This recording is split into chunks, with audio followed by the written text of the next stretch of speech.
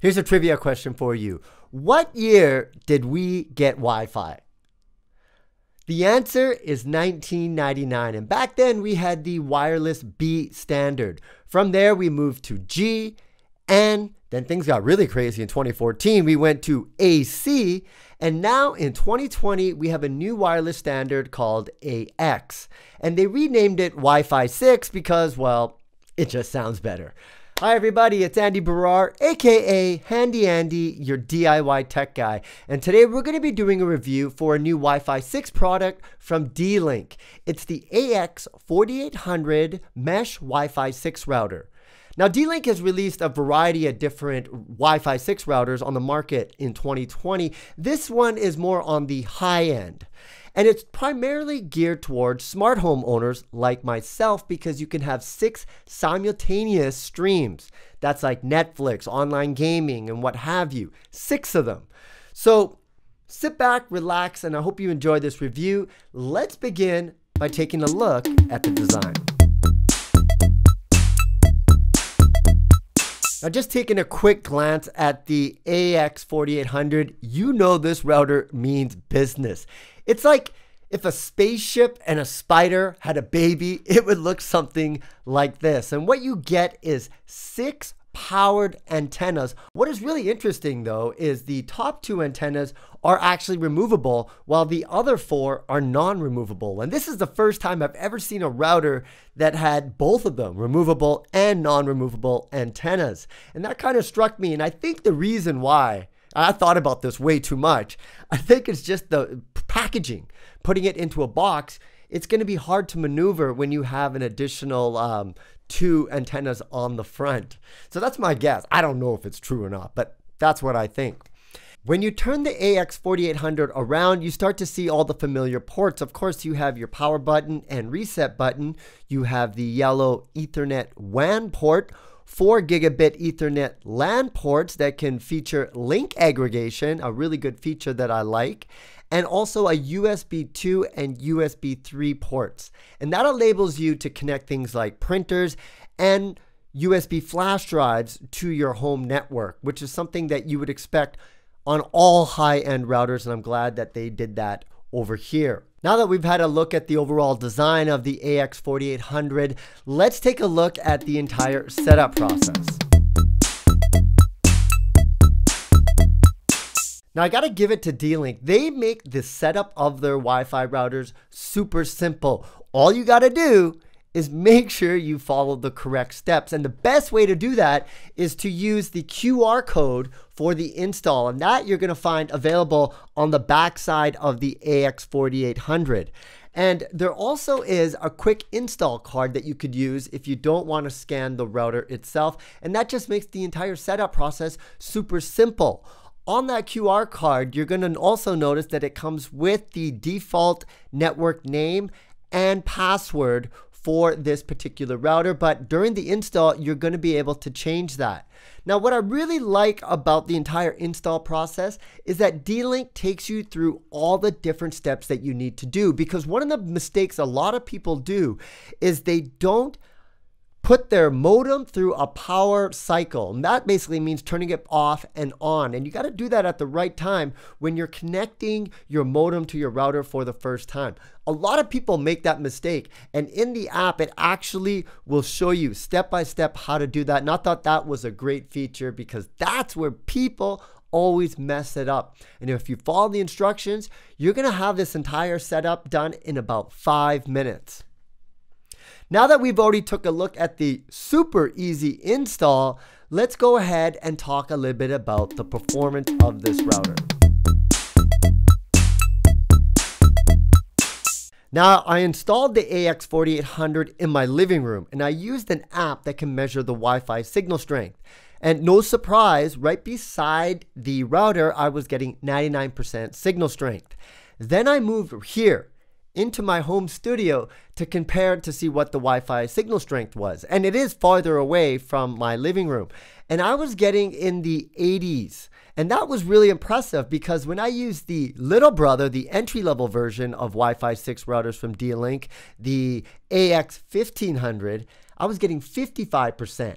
And that router has four antennas, whereas this one has six. So those two uh, antennas that you have to screw on, I basically have data showing that it makes a difference because you got to remember all these antennas are powered. So that was really, really, really interesting data. Now, I was really interested in this Wi Fi 6 router, the AX4800, primarily because I wanted to see if this new Wi Fi 6 technology could extend the Wi Fi signal onto my back deck because no other AC router, even the high ends, I was not able to get that Wi Fi onto my back deck without using some kind of mesh system. So this was going to be a very interesting test for me because I had it installed in my living room. And then from there, I basically walked through my kitchen go into the small little hallway and then straight out into the backyard. So there's a lot of distance from there.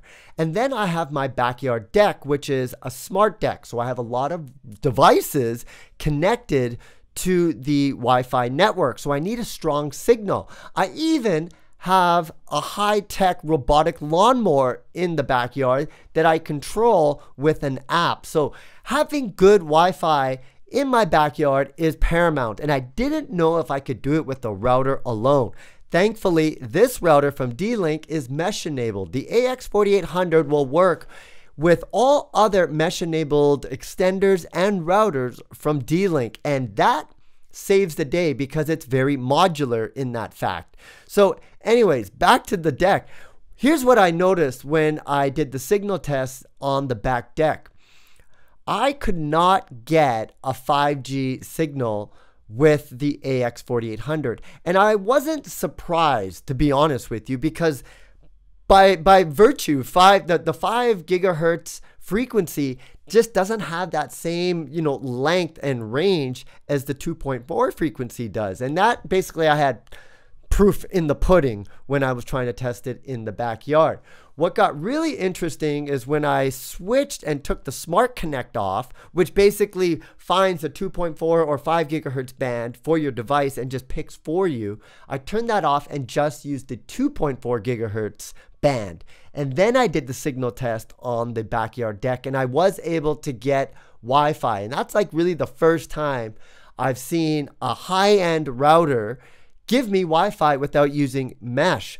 But what I would have loved if I had one of the extenders, I could then test it out and see how far I could push this home Wi Fi network using a combination of routers and extenders. That would have been really interesting, especially it's all under Wi Fi 6.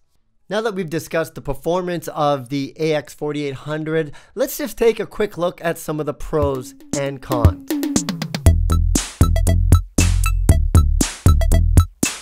Well, one of the first things I like about the AX4800 has to be just an amazing Wi Fi range. And I think a lot of it's attributed to this new AX or Wi Fi 6 wireless standard because on the back end of there, they figured a lot of things out to really push the Wi Fi network. And when you add that you have six antennas that are powered, you're really going to be able to push that Wi-Fi out as much as you possibly can using the latest Wi-Fi technology and antennas at the same time. And it I have data to show that it was working really well, especially when I compared it to the little brother, the AX uh, 1500. That was some interesting data. And so I really like the fact that it does have a good wireless range, and I was even able to get a signal on my back deck, which I never got before on any AC router alone. Another thing that I like about the AX4800 is that it uses something called BSS coloring,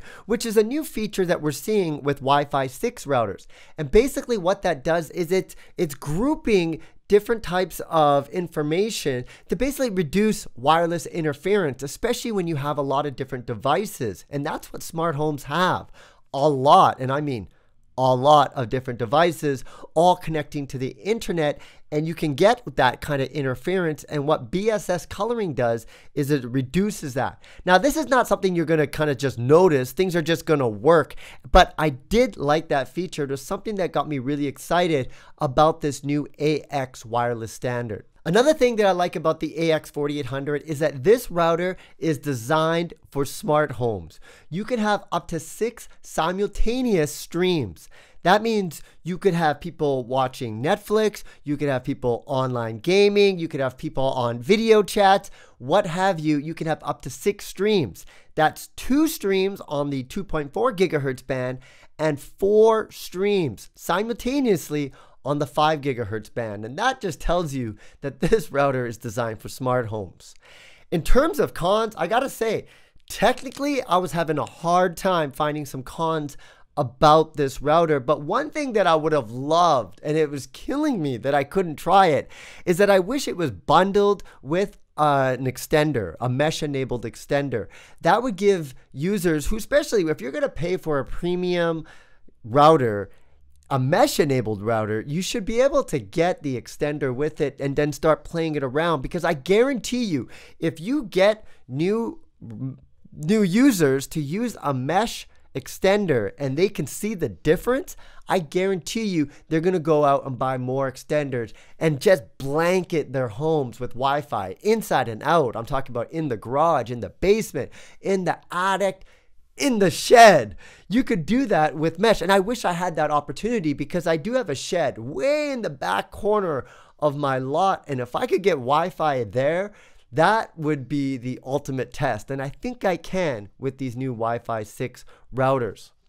Well, I hope you enjoyed this review of D-Link's new Wi-Fi 6 router, the AX4800 Mesh Wi-Fi 6. Now, if you like this review, please leave a comment, like this video, and subscribe to this channel. You can get more information about myself over at handyandymedia.com. Once again, it's Handy Andy signing off. We'll see you again next time. Bye for now.